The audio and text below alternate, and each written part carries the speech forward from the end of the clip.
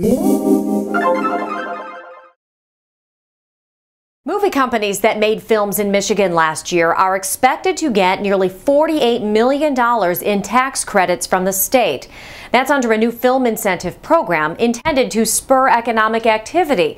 But while news of film jobs and movie related spending has generated excitement, there is a cost to these benefits, a cost that may hit closer to home than many of us realize.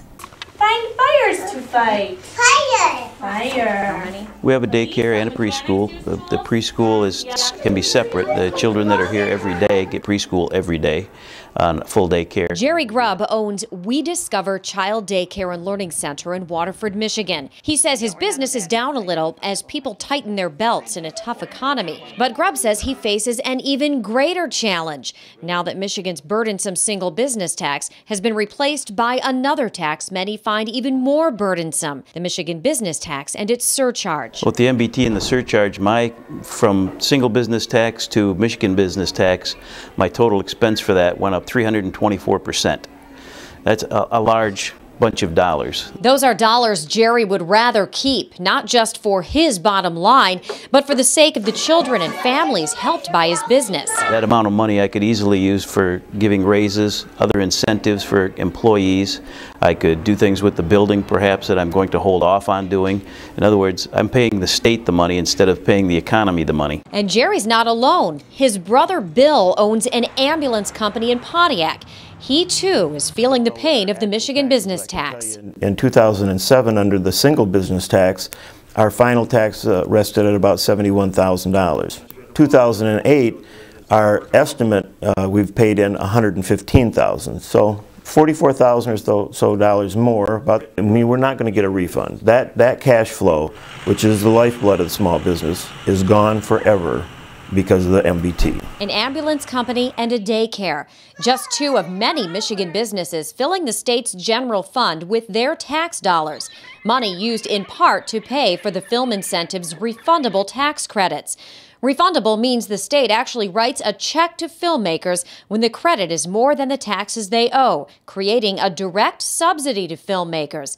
Inevitably, those subsidies do have some benefits, as with the movie called High School. The movie was filmed almost entirely in the Howell area, with many scenes taking place at an unused school building there. School board member Wendy Day voted in favor of allowing the movie production at the school. Was it good for Howell? Yeah, it was good for Howell. It dumped uh, $3 million into our community. It gave our schools a couple hundred thousand dollars to put in our general um, fund.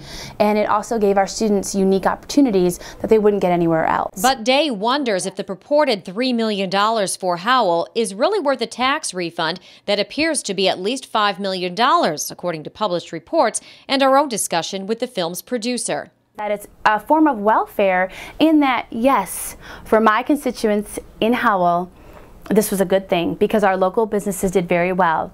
But is it fair for the citizens of all the other cities in our state to be paying for Howell to have extra money? Uh, of course not. Not when they have no say, not when the government's dictating that. Others might wonder if the film company's $5 million refund might be better spent on other public services, such as pothole repair. In 2008, the state transportation department says it spent just $4 million fixing potholes on 10,000 miles of Michigan highways. In the meantime, Bill and Jerry Grubbs say they face a rough road ahead, paying for others to drive in the fast lane. If you're giving away tax dollars, essentially not collecting tax dollars because you're giving things like the film incentive, then somebody is paying for that. And the people that are paying for it are the people who've been doing business here for years, like myself, get stuck paying that. Incredible, incredible to me because uh, for, for a Michigan taxpayer in the Upper Peninsula or, or uh, someplace that the filmmakers are not going to, they're not benefiting from that, one iota, and yet they're paying the tax for it. And for us, uh, a business that, that's established in Michigan, that's providing jobs in Michigan, that, that's, uh, that is providing a community service in Michigan, we don't get that. We don't, we don't get that tax break. We don't get that tax refund. I love Clint Eastwood, but I, I don't want to subsidize, which is what it is, uh, subsidize his business of filmmaking. Stories like these are often hidden in the glare of Hollywood's bright lights.